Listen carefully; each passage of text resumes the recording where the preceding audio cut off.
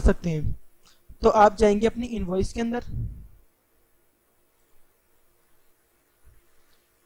इसमें आप अपने आइटम सिलेक्ट करें। तो ये हो गया हमारा टेक्सेबल और इसके अलावा मैंने एक आइटम इसके अंदर और ऐड कर लिया।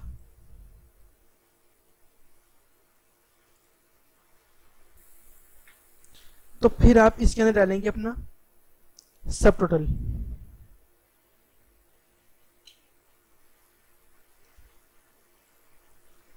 सब टोटल जैसे आप डालेंगे इसके अंदर तो आप देखेंगे कि आपका अमाउंट जो है, वो इसके अंदर आ जाएगा इधर।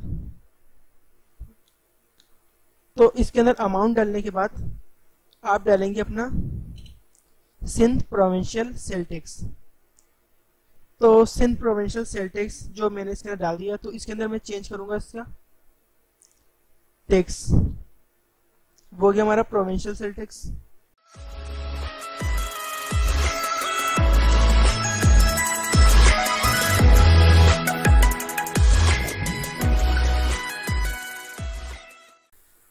hello friends, अस्सलाम वालेकुम। मेरा नाम है अजीम अहमद और आप देख रहे हैं अकाउंट्स इंफॉर्मेशन तो फ्रेंड्स आज का हमारा टॉपिक है कि हम अपनी कोई बुक के अंदर किस तरह से मल्टीपल सेल टैक्स के जो रेट होते हैं, वो किस तरह चेंज कर सकते हैं। तो फ्रेंड्स पिछली वीडियो में मैंने आपको ये बताया था कि किस तरह से आप सेल टैक्स इन्वॉल्व कर सकते हैं। हमारी कोशिश ये है कि हम सेल टैक्स को हम अच्छी तरह समझें और क्विक बुक में अप्लाई करें।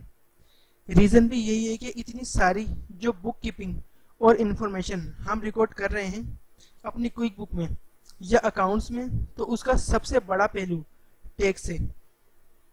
जो हमने गवर्नमेंट की मुख्तलिफ़ एजेंसीज को अदा करना है, ये सेल टैक्स के नाम पर भी हो सकता है और ये जनरल सेल टैक्स के नाम पर भी हो सकता है वेट भी हो सकता है, ये इनकम टैक्स के नाम पर भी हो सकता है, ये एक्साइज ड्यूटी भी हो सकती है और गवर्नमेंट और बहुत सारी इस तरह की चीज़ें हो सकती हैं, जो हम किसी और गवर्नमेंट एजेंसी की बिहाफ पर अपने कस्टमर या क्लाइंट की सेल में सेल्स में से डिटेक्ट करके या अपने पास रखते हैं और रिमेट कर देते हैं। और जैसे कि मैंने डिस्कस किया हुआ है कि बिल्कुल मुमकिन है कि आप चंद आइटम पर अपने ख़ास नोयत के टैक्स लगाएँ।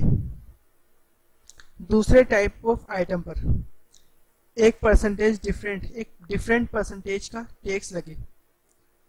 आइटम टू आइटम भी डिफर हो सकता है सर्विस टू सर्विस भी डिफर हो सकता है प्रोविंस टू प्रोविंस भी डिफर हो सकता है और सिटी टू सिटी भी डिफर हो सकता है। तो जैसे कि मैंने आपको पहले भी ये बताया था कि हमने किया क्या? हमने किया क्या है? जितने भी टाइप ऑफ़ सेल टैक्स हैं, इनके रेट्स हैं, वो हमने सारे के सारे अपने पास रजिस्टर कर लिए हैं। उसके साथ साथ अब हमें पता है कि ये सेल्स जहाँ हो रही है, हम अपना सिस्टम उन लोगों के लिए, उन यूज़र्स के लिए सेट कर सकते हैं और उन्हें बता बता सकते हैं कि अपने इलाके में जहाँ जहाँ भी आप इस वक्त तैनात हैं, किसी टाइप के कौन कौन से सेल टैक्स जो हैं वो लागू होंगे।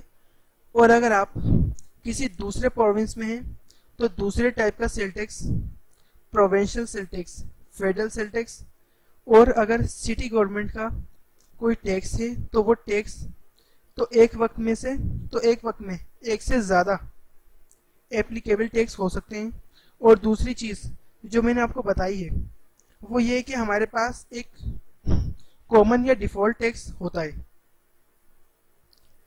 जो कि हमारी तमाम टैक्सेबल चीज़ों पर लग जाता है। और ये एक लाइन आइटम के तौर पर नज़र आता है। और ये उसे कैलकुलेट कर लेता है।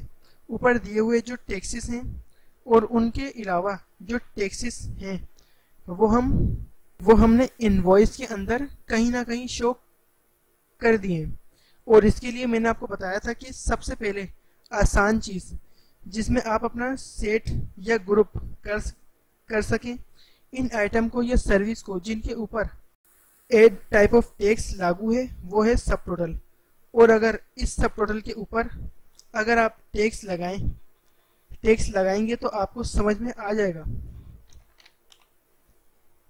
कि हम बहुत आसानी से, बजाय कि हर आइटम पर एक टैक्स लगाएँ, हमें उन सब चीज़ों पर सब टोटल लगाकर इन तमाम चीज़ों का अहाता कर सकते हैं सकते हैं।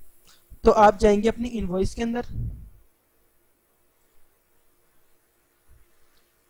इसमें आप अपने आइटम सिलेक्ट करें। तो ये हो गया हमारा टेक्सेबल और इसके अलावा मैंने एक आइटम इसके अंदर और एड कर लिया।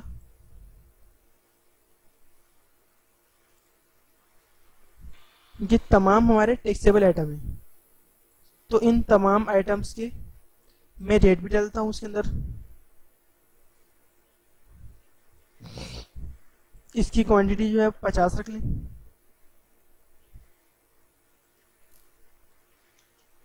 और इसकी 800 तो इसकी आप क्वांटिटी पचास रख लें।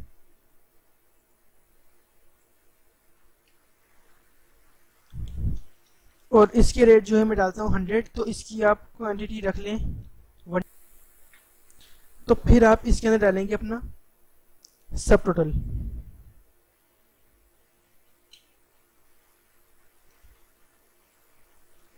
सब टोटल जैसे आप डालेंगे इसके अंदर तो आप देखेंगे कि आपका अमाउंट जो है, वो इसके अंदर आ जाएगा इधर।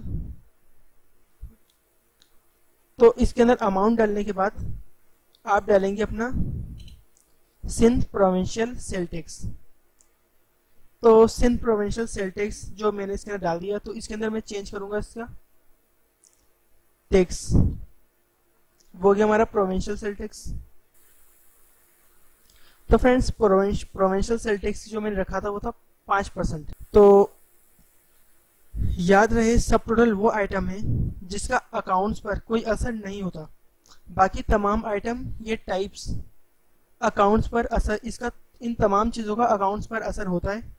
हो सकता है इन्वेंट्री घटे, सेल्स बढ़ जाए और आपका किसी न किसी किस्म का एक्सपेंस आउट हो जाए। लेकिन ये तमाम चीज़ें सब टोटल पर लागू नहीं है।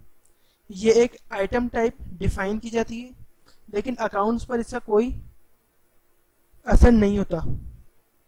इस पर इसका डायरेक्ट असर नहीं पड़ता है। ये सिर्फ़ आपको फैसिलिटेट कर रही है। तो एक वक्त में एक से ज़्यादा आइटम कैसे डाले जाएँगे? ये बताऊँगा अपनी आने वाली नई वीडियो में। तो फ्रेंड्स ये वीडियो मेरी यहीं तक थी।